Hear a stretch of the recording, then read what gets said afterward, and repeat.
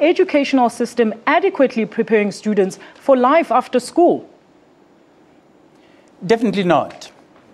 Definitely not. Um, look, we, we have had all these um, concerns raised over um, a long time. I mean, if I can take you through history, that in 1995, it's, it's, it's more like, uh, like going back in time, but in 1995, I wrote and published a paper with a colleague at the University of Fort Hare, mm-hmm. who was then Dean of the, the Faculty of, of Agriculture. We titled it Problems of Learning Among First Year Students in South African Universities. And we, we were very clear, we ran a study, and it was clear that our students are hampered largely by what we call then underpreparedness. And um, subsequent to that, people like the late Professor Wally Morrow took the issue up and made very clear statements that our students lack, and this is an expression that he used, mm-hmm. that our students lack epistemological access, which means they do not have access to those elements of knowledge mm-hmm. that are necessary for the students, first of all, to make it in a university and to make it in the, in the world of work. Mm. Have we improved since then? I mean, you are talking 1995 when I published my paper. Professor Morrow published his paper, I think, a year before mine. Now we are talking 2014. Mm-hmm. We are still dealing with the same problems that I researched almost 15 years ago. So something is really wrong. We are not preparing our, our, our learners for university. Mm-hmm. I used to be a principal, and I can tell you the things that I used to, to manage and the things that used to be put on me as a principal under pressure by the education authorities was to prepare children to pass the exam. Absolutely. Now, children passing the exams is not the same as children getting into the exam, coming out educated enough to stand on their own feet when they get to university. Mm. That is the dilemma.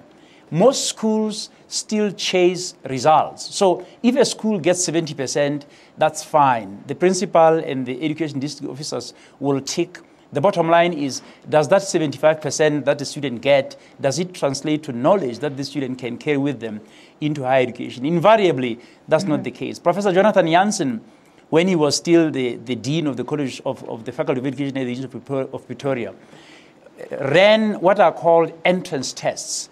A lot of students that had come with excellent, excellent symbols, they failed the, the, the entrance test, which was a, a, an indication that there is something wrong in what schools do and what universities expect. Mm-hmm. There's also something wrong with what schools do and what the world of work expects. So we need to bridge that gap.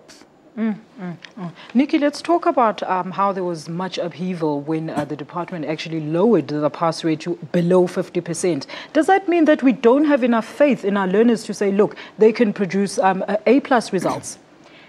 I think what's relevant is 50% of what or mm-hmm. 30% of True. what. And that's something that we're not looking at as much as we need to. Mm-hmm. Um, as the professor said, schools are chasing results. Um, you know, it's, it's a wonderful it's thing to say we've had over a 90% pass rate, or 100% mm. pass rate which is all very well, but we need to look at what we're actually teaching our learners. Mm-hmm. Um, and, and in that regard, you know, we need to mention the, the Department of Basic Education's draft policy on mm-hmm. HIV, TB, and STIs in schools.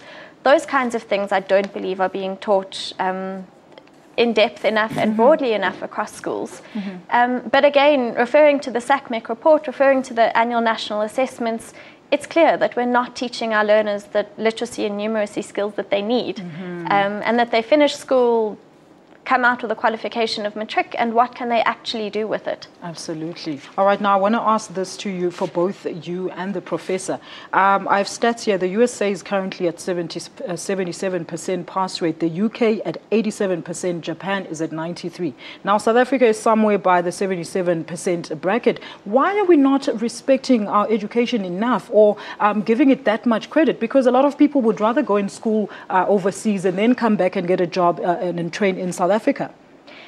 I think that there are a number of factors. Mm-hmm. Um, you know, it, I don't think it's fair to say that we're not respecting education enough. If we mm look at the, the budget that's allocated to basic education, education does get the biggest piece of the pie. Mm-hmm. I don't believe that education is being prioritized in the way that it needs to be. But, mm-hmm. but there, I think what we need to look at is the design of the education system. Absolutely. The system in South Africa is designed to be unequal and to produce learners that cannot realize their and potential. Thank you very much for raising that point, Nikki. I wanted to ask um, is also the accessibility to student funding uh, another major problem? If you can also just put that in your answer as well.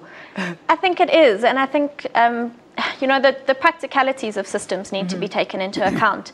Just to give you an example, the introduction by the Department of Basic Education of the no fee system, mm-hmm. I think was a very good initiative, except that that needs to come hand in hand with adequate funding from the Department of Education for the day to day running of schools. Mm. And unfortunately, what we're seeing is that schools are not getting everything that they're entitled to from the department, regardless of whether that's actually sufficient for mm. what they need. Mm. Schools are then charging almost a de facto school fee to learners who cannot afford to pay anything for their education, and learners are then being excluded from school in that way. Mm-hmm. And so I think we need to look at, at practical things like that. How do we actually make sure that a no fee school operates as well as, as a fee paying fee school in a very school. wealthy area, mm. that learners have the same level of access to education and, and that they come out on an even playing field. Mm, mm. Now, Professor, your take on the fact that uh, we, we're competing USA 77%, UK 87%, and of course Japan unbeatably at uh, 93%. Where are we losing credibility of our education system or the education department? It's on quality the issue, first of all, is on quality. Um, the argument doing the rounds now is should we actually be fussing about whether tomorrow we are going to get 75% or what? Mm-hmm. Because the bottom line is even if we were to get 80%, serious questions need to be asked. And as, as your, your, your, your guest there puts it, I, I actually like her comment. 75% of what? We should be in a position to separate between quantity and quality. Mm. So that when we put the number up and we say, this year we have improved, we have 75% or 76% or whatever the case it may be, we need to be asking ourselves whether does that number tell us anything about what our learners know, what mm. our learners are capable of. Until we can deal with that, that number simply becomes an insignificant mirage. And I think the, the rest of the countries that you mentioned, um, education is, is, is, is, a political act always. I mean, um, mm. at a particular level, a minister who doesn't deliver in terms of providing that quantitative number mm-hmm. that the political uh, executives want usually gets a chop. So we are straddling between how to balance between the politics and what is needed to be done. Mm. I'm an educator, so I, I feel it's important that we begin to focus attention on the quality. I spoke about epistemology, knowledge. What is it that we do? When Mary Metcalfe was, um, I think, the, the head of the school at Wits, she spoke about going back to the basics. Mm. That's something that we need to talk about. We need Professor, to be asking ourselves whether. Professor, yes. very quickly, if I can just get in there, why does uh, different subjects actually have a different pass rate or pass mark average? What does that mean? That's that, is, that is a political thing. Ask the Minister of Education. The Minister of Education has done that. I can't answer it. I see it in the policy documents, and it baffles me. It really baffles me. Um, earlier on, there was a mention in the studio of a pass rate of 50%. percent mm hmm I think um, if you look at what these other countries do, whether you are talking about the African continent or you're talking about Europe mm-hmm. or you're talking about America, there is, there is an agreed understanding that for you to pass a subject, you have to get at least 50% of what you are asked. Yes. What that means is that, and I want to use a simple analogy. If I design a syllabus and I say to a teacher, I'm giving you 100 points that I want you to go into a class over the year and get the students to study. At the end of this year, I wanted to test the students and make sure that they pass at least 50% of the points that I ask you to study. These points are what we call curriculum. Absolutely. Curriculum is what ought to be known, mm. what will be useful to society, what makes a student a worthwhile person in society. Now, if our students can only pass 35% of the 100 things that we prepare them to pass, we cannot sit here and celebrate and say, we have done well. Something mm. is really wrong. All right. Nikki, what is your take on that? Different pass rates for, for, for different subjects? Is it really a political issue? I agree that it's you know it's not something that that I'm qualified to comment on. Mm-hmm. Um, I don't know what the motivation behind that is. Mm-hmm. Um, you know. Unfortunately, it's it's not something I can add very much to. All right, but Nikki, let's talk about um, the year starting now. What would you hope to see um, changes, like drastic changes within the department as the year kicks off? a number of issues. Mm-hmm. Um, and I'm talking about both the National Department of Basic Education and the nine provincial education departments. Mm-hmm. We need to see increased accountability for failures mm-hmm. um, in education. We need to see um, increased responsiveness to complaints that come up. Mm-hmm. Um, for example, we do quite a lot of work in Limpopo province and it's the rainy season at the moment, mm. and so roofs are falling off schools or being blown off schools at an alarming rate. Mm-hmm. And the Department of Education in Limpopo is not responding to those complaints as quickly as, as they should be doing. Mm-hmm. Um, it's impossible to realize the right to basic education in a school that doesn't have a roof. Mm. Um, you know, where school is cancelled in rainy weather, that kind Absolutely. of thing. So yes. I think we need to improve things like infrastructure. We need to make sure that teachers are appointed. We need to make sure the textbooks are delivered. But we also need to address those underlying issues of responsiveness, accountability, corruption, mm. proper budgeting. Um, we need a more transparent budget Absolutely. and we need to know how the money is being spent and what steps are being taken to ensure that it is being spent adequately. All right, and Professor, very quickly, in your views, what could be amicable, be amicable solutions to these problems? I, I think Nikki hit the button. One of the things that I was going to say is, is about provision of resources. I mean, we have, we have gone past the issue of books, but has the issue of books really died? I don't think so. I think there are some schools that still don't receive books on time.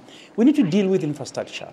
I mean, there are, there are children in the provinces who still study under trees. We are a rich country. We need to provide those countries, those, those provinces with schools.